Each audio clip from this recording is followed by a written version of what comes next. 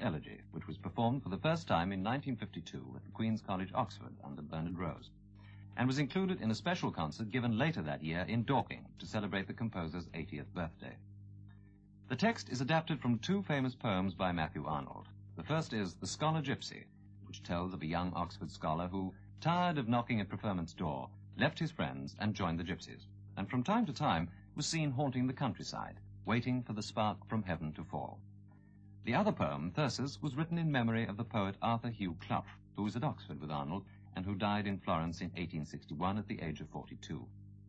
In this, there are references to an elm tree on the crown of a hill, and to a legend that, so long as the tree stands, the scholar gypsy lives on and travels yet the loved hillside. Most of the words are spoken, but some are sung by the chorus, who also, from time to time, are heard singing without words. An Oxford Elegy by Vaughan Williams.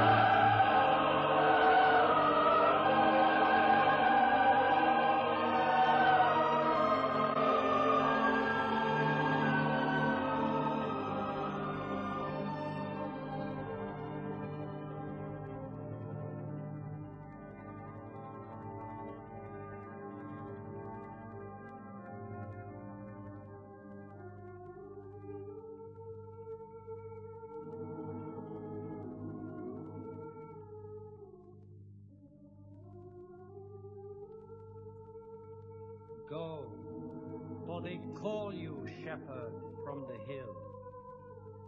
Go, shepherd, and untie the wattle cotes.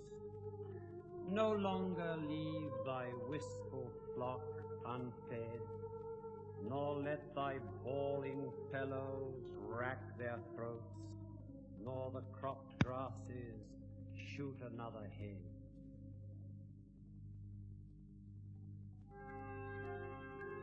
But when the fields are still, and the tired men and dogs all gone to rest, and only the white sheep are sometimes seen cross and recross the strips of moon-blanched green. Come, shepherd, and again begin the quest. Will I sit and wait, while to my ear from uplands far away the bleating of the folded flocks is borne, with distant cries of reapers in the corn. All lithe murmur of a summer's day.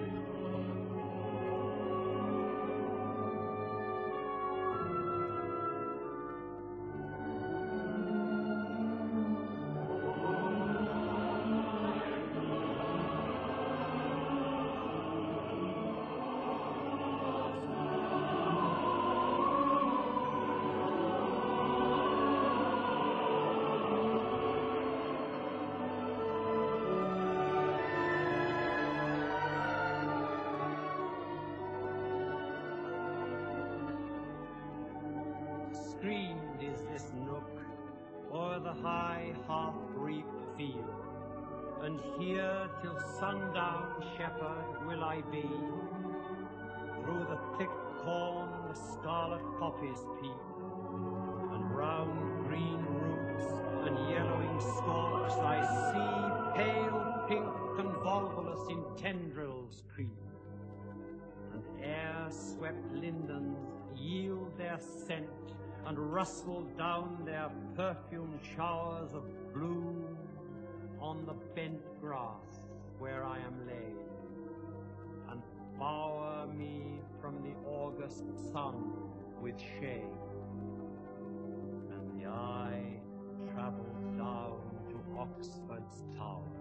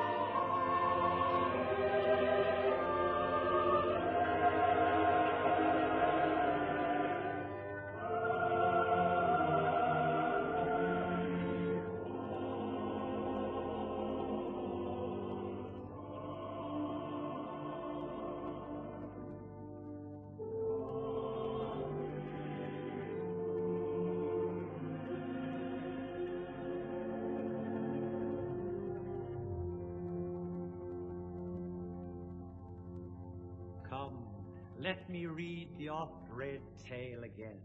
The story of that Oxford scholar poor, who one summer morn forsook his friends, and came, as most men deem, to little good, but came to Oxford and his friends no more.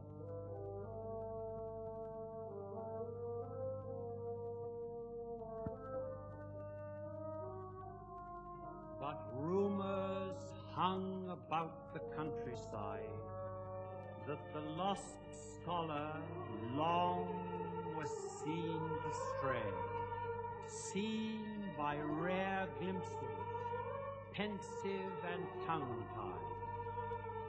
And I myself seemed half to know thy looks, and put the shepherd's wanderer on thy trace.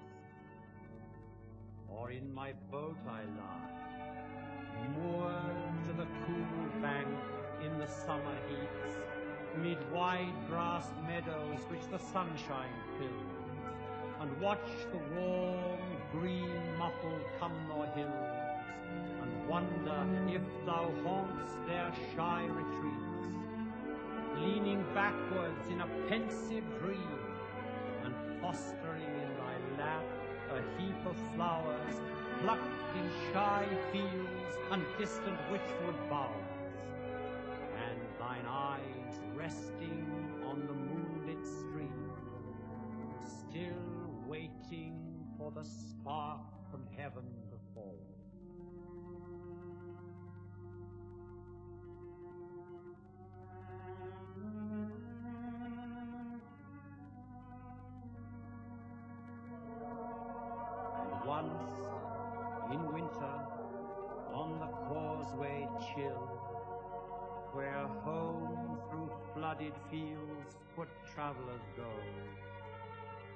Have I not passed thee on the wooden bridge, wrapped in thy cloak and battling with the snow, thy face towards Hinksey and its winter ridge? And thou hast climbed the hill and gained the white tower of the Cumnor range. Turned once to watch while thick the snowflakes fall, the lines of festal light in Christ Church Hall.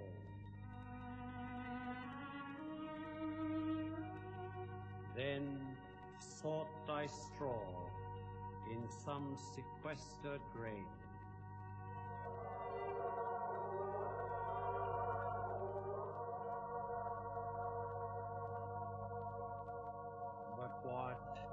I dreamed, two hundred years are flown, and thou from earth art gone. Long since, and in some quiet churchyard laid, some country nook where o'er thy unknown grave tall grasses and white flowering nettles wave. Under a dark, red-fruited yew tree's shade.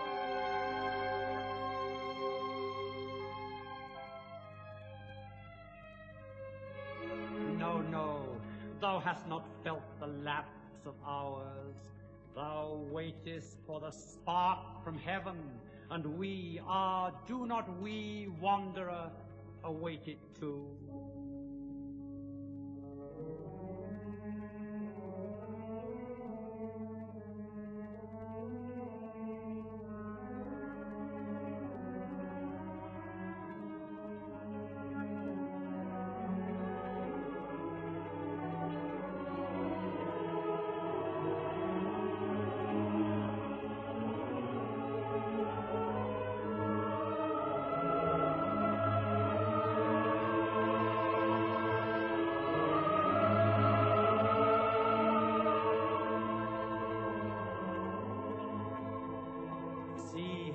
'Tis no foot of unfamiliar men today from Oxford up your pathway strays. Here came I, often, often in old days, Thyrsis and I. We still had Thyrsis then.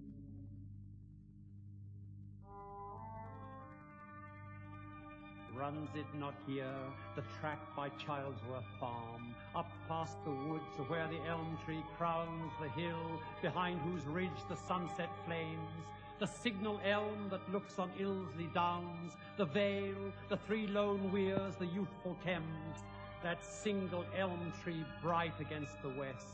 I miss it. Is it gone? We prized it dearly. While it stood, we said, our friend the scholar gypsy was not dead. While the tree lived, he in these fields lived on.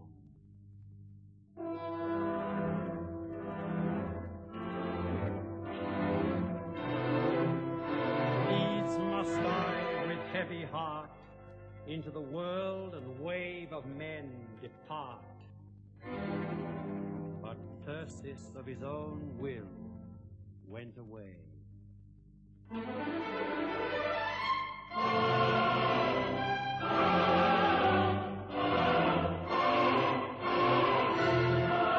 So have I heard the cuckoo's parting cry from the wet field through the vexed garden trees, come with the volleying rain and tossing breeze.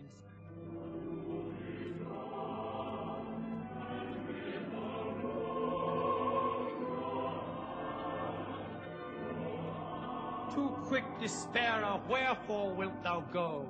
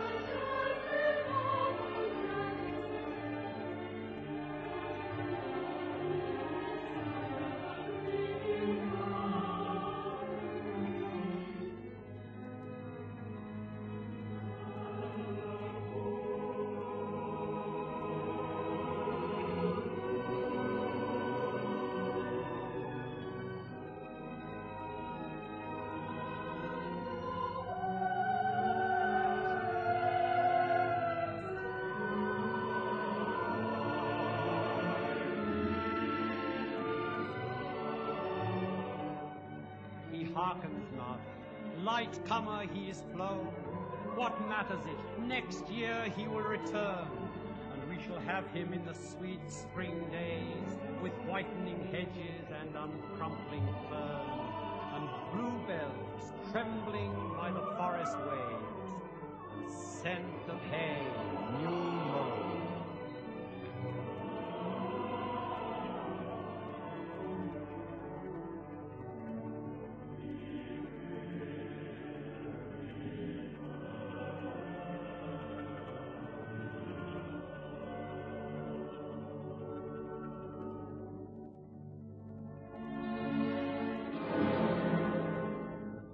Thyrsis nevermore we swain shall see.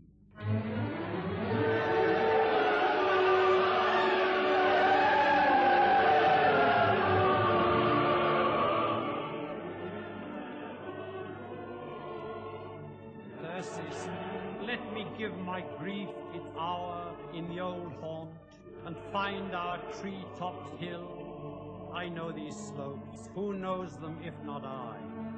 But many a dingle on the loved hillside, with thorns once studded, old white blossomed trees, where thick the cowslips grew, and far descried, high towered the spikes of purple orchises, hath, since our day, put on the coronals of that forgotten time. They all are gone, and thou art gone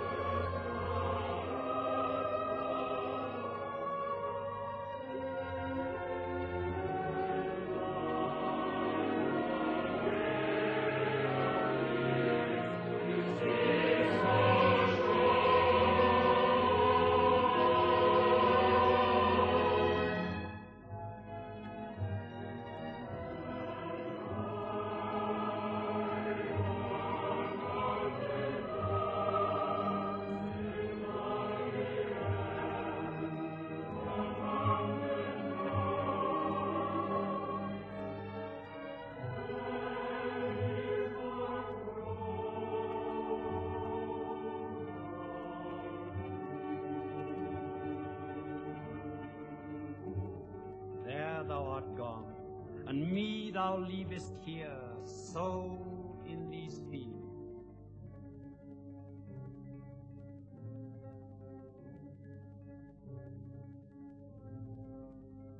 Yet will I not despair.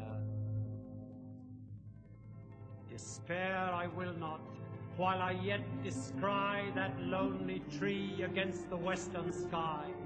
Fields where soft sheep from cages pull the hay, woods with anemones in flower till May. Know him a wanderer still.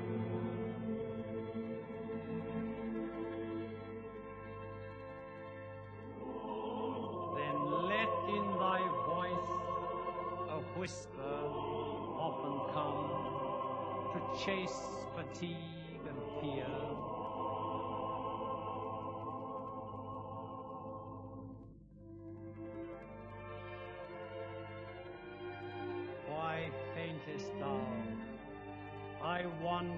till I die.